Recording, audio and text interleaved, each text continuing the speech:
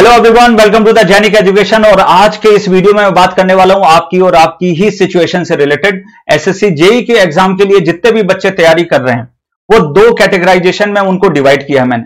पहली है भाई जिनके, जिनको भ्रम की स्थिति पैदा होकर रखी है और जिनको डर की स्थिति पैदा होकर रखी है। इन दोनों के बारे में अच्छे से बात करेंगे। तो भ्रम तो बेटा उनको है, जिनको, जिन्होंने थ्योरी तो कंप्लीट कर ली है, पर उसी थ्योरी को वो रगड़े जा रहे हैं। और सेकेंड सिचुएशन है बेटा डर की। जिनकी अभी थ्योरी अभी कंप्लीट नहीं हो पा रही है वो फटाफट लगे हुए हैं अपनी थ्योरी को। तो कैसे आप इस एग्ज़ाम को अच्छे से संभाल सकते हैं?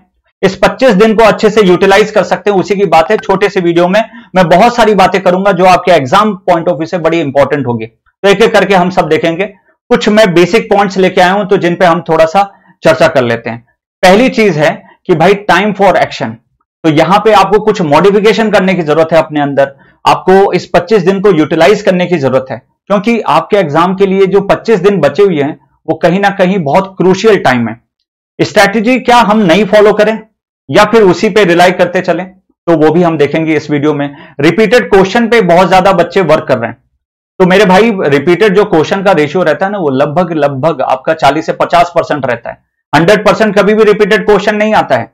हाँ कंसेप्ट वैसा मिल सकता है आपको, पर रिपीटेड क्वेश्चन नहीं मिलता है। कई लोग एबीसीडी भी याद करके रखते हैं। वो गलत चीज़ है वो। तो उसी चीज़ पे हम लोग बात करेंगे। और ऐसा मैं क्यों बोल रहा हूँ? क्योंकि एक्सपेक्टेड जो इस बार का कट ऑफ़ है, वो कहीं ना कहीं आपका 145 से 155 के आसपास जाने वाला है। तो प्लीज़ आपको उसी के अकॉर्डिंग ही वर्क करना पड़ेगा। अब आपके पास आते हैं दो चीज़ें, एक टेक्निकल और दूसरा आता है non technical portion technical portion में 100 में से 90 तो आपको फोड़ने ही पड़ेंगे सिलेक्शन के लिए। तो उसके लिए आपकी जो लर्निंग है टेक्निकल को लेके वो बहुत अच्छी होनी चाहिए। क्वेश्चंस आपकी बुकलेट के सॉल्व हो जाने चाहिए। आपने जो बुक प्रिफर की है प्रीवियस ईयर की, वो भी सॉल्व हो जानी चाहिए अच्छे से। तभी आप इस एग्ज़ाम में बेहतर परफॉर्म करोगे। सेकंड है नॉन टेक्निकल जिसमें रीजनिंग आता है और एक जनरल अवेयरनेस का एक सेक्शन आता है। रीजनिंग में कहीं ना कहीं आपको 45 के अप्रोक्स फोड़ने की ज़रूरत है, तभी आप सिलेक्शन की 100 परसेंट उम्मीद कर सकते हैं। तो रीजनिंग के लिए आपको डेली बेसिस पे एक घंटा तो देना ज़रूरी है, क्योंकि एकदम से रीजनिंग एबिलिटी नहीं बन पाती है हर बच्चे की।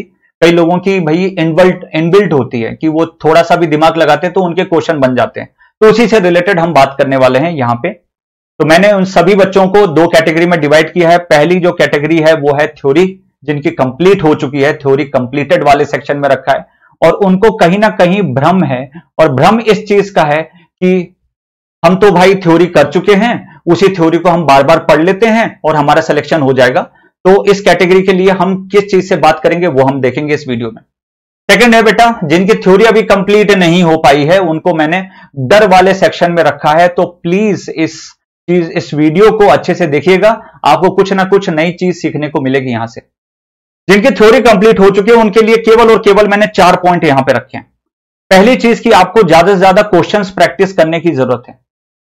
क्योंकि आपकी ऑलरेडी थ्योरी कंप्लीट हो चुकी है। आप उसी थ्योरी को बार बार पढ़ते हैं तो आपको यह नहीं समझ में आता है कि उस पर्टिकुलर थ्योरी से रिलेटेड यदि कोई नया क्वेश्चन बना तो कैसे बन सकता है, उसको हम कैसे टाइमली डील कर सकते हैं। अरे, दो घंटे का समय और दो घंटे में आपको सबसे बेहतर परफॉर्म करना है और सिलेक्शन लेना है। तो कहीं ना कहीं आपको क्वेश्चन की प्रैक्टिस करनी है।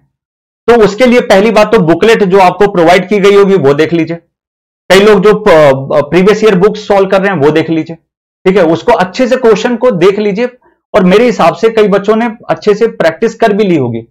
तो वो क्या करेंगे? वो टेस्ट सीरीज़ पे जाएँगे फिर। टेस्ट सीरीज़ स्टार्ट कर दीजिए। ज़्यादा समय मत लीजिए, फटाफट टेस्ट सीरीज़ स्टार्ट कर दीजिए। आप जैने की हमारी टेस्ट सीरीज़ ले सकते हो। और टेस्ट सीरीज़ में बहुत अच्छे अच्छे क्वेश्चन रखें जो आपके एग्जामिनेशन के लिए बहुत ज़रूरी होंगे। तो उनकी एनालिसिस करिए पर। जैसे आप दो घंटे का मॉक टेस्ट देंगे, मॉक टेस्ट ही देना आपको। सब्जेक्ट वाइज टेस्ट नहीं देना आपको। मॉक टेस्ट देना है जिनकी थ्योरी पूरी कंप्लीट हुई है। तो वो मॉक टेस्ट पे वो मॉक टेस्ट देना स्टार्ट करिए।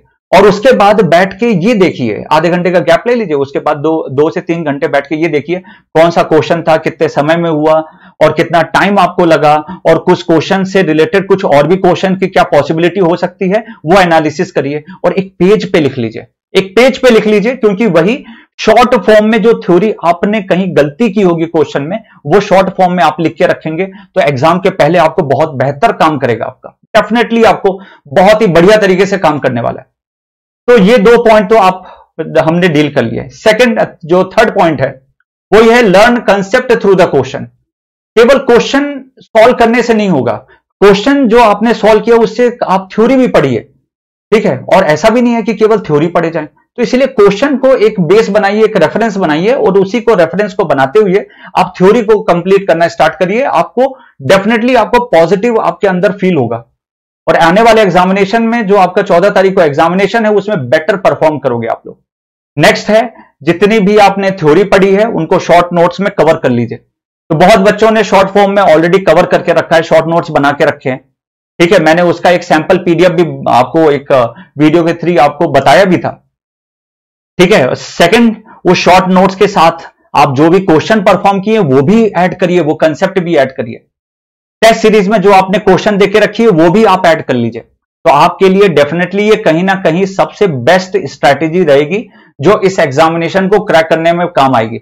और मैं आपको 100 परसेंट की गारंटी दूँगा कि भाई इससे आपका 100 परसेंट सिलेक्शन हो सकता है। ठीक है? तो इसलिए आपको टाइम मैनेजमेंट सबसे इंपॉर्टेंट है, वो यहाँ से हो जाएगा। थ्योरी का आपको कॉन्फिडेंस जो नहीं मिल रहा है ना बार बार थ्योरी पढ़ रहे हो, वो कॉन्फिडेंस यहाँ से मिल जाएगा। तो ये है भैया थ्योरी कंप्लीटेड वालों का, जो अभी कहीं ना कहीं भ्रम में थे और वो शायद यहाँ से समझ चुके होंगे कि उनको क्या फॉलो करने की ज़रूरत है और क्या नहीं फॉलो करने की ज़रूरत है। नेक्स्ट अब हम आगे बढ़ते हैं, जिनकी थ्योरी अभी कंप्लीट होनी बाकी है। तो वो कहीं ना कहीं डरे हुए हैं कि यार हमारी थ्योरी अभी कंप्लीट नहीं हुई, अभी थ्योरी भी कंप्लीट करना है क्वेश्चन भी सॉल्व करना है। प्रीवियस जो सब्जेक्ट हो चुके हैं, उन पे कैसे कमांड करें? ठीक है, क्योंकि अभी तो थ्योरी भी कंप्लीट करनी बाकी है, जो बाकी सब्जेक्ट की है।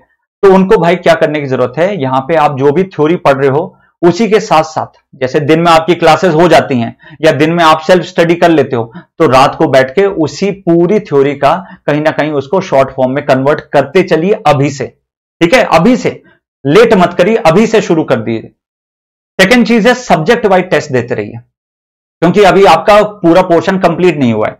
तो सब्जेक्ट वाइज टेस्ट दे दीजिए। और जैसे ही आपकी थ्योरी पूरी कंप्लीट हो जाए, उसके बाद मॉक टेस्ट तो ज़रूर दीजिएगा। कम से कम पाँच से दस मॉक टेस्ट तो आपके हो जाने चाहिए और उसकी एनालिसिस भी अच्छे से हो जानी चाहिए। तभी आपको डेफिनेटली इस एग्ज़ाम में सक्सेस मिलेगी। नेक्स्ट है, जो बहुत बड़ी गलती करते हैं कई बच्चे, कि वो थ्योरी ही अभी पढ़ते जा रहे हैं साथ साथ में। उसी थ्योरी को बार बार रात को बैठ के रिवाइज करते हैं, अगले दिन भी रिवाइज करते हैं। ठीक है, आप थ्योरी रिवाइज करिए, कोई दिक्कत नहीं है। पर क्या उससे क्वेश्चन बन पा रहे हैं आपको, ये भी सोचने की ज़रूरत है। क्या आप टाइम के साथ क्वेश्चन को सॉल्व कर पा रहे हो, ये भी बहुत बड़ा मुद्दा है। तो ये कहाँ से पता चलेगा? क्वेश्चन प्रैक्टिस से। तो आपके पास जो बुकलेट आप प्रोवाइडेड है, जो भी आप इंस्टीट्यूट में पढ़ रहे हो जैनिक में जो पढ़ रहे हो, उनको भी बुकलेट बहुत ही प्यारी तरीके से दी हुई है। उससे आप लोग क्वेश्चन बनाने की कोशिश करिए और आप देखिए कि कितना समय लग रहा है एक क्वेश्चन को बनाने में। ठीक है? ट्वेंटी ट्वेंटी क्वेश्चन का सेट लेके रखिए। ठीक है? कोई भी आप बुकलेट सॉल्व कर रहे हो तो ट्वेंटी क्वेश्चन का लगातार सॉल्व करिए और उसके बाद में आप देखिए कि आप क्या उस क्वेश्चन को अच्छे से कर पाए, क्या उस डेडिकेटेड टाइम में आपने उस क्वेश्चन को कंप्लीट कर पाया? क्योंकि हर क्वेश्चन में एसएससी जेई में लगभग 40 सेकंड मिलने वाले हैं। ठीक है तो यह समझना बहुत ज़रूरी है। इसीलिए आपको सबसे अच्छी चीज़ यहाँ पे क्या करनी है?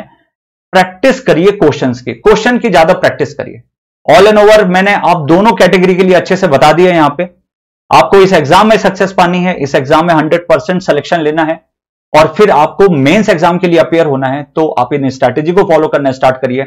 ना ही आपको भ्रम में रहने की ज़रूरत है, ना ही आपको डर में रहने की ज़रूरत है, आपको सिलेक्शन पाना है तो आपको अपनी सिचुएशन को पहचानने की ज़रूरत है और पहचान के उस पर वर्क करना स्टार्ट करिए हंड्रेड परसेंट आपको सिलेक्शन मिलेगा। तो भाई थैंक यू सो मच ऐसे ही मैं बहुत सारी वीडियो लाते रहूँगा आप लोगों के लिए और कमेंट सेक्शन में ज़रूर बताइए कि आपको इन सब चीज़ों से फ़ायदा हुआ और आप कौन से कैटेगरी में थे, भ्रम में थे या फिर आप डर सेक्शन में थे। तो ज़रूर कमेंट सेक्शन में बताइएगा। और ज़्यादा से ज़्यादा इस वीडियो को शेयर कर दीजिए। जैनिक, आपके लिए और भी लास्ट की 15 डेज़ में प्रैक्टिस सेशंस लाएँगे हम लोग दिवाली के बाद में। आप डेफिनेटली उनको ज्वाइन करिए और प्रैक्टिस करिएगा। Thank you so much bye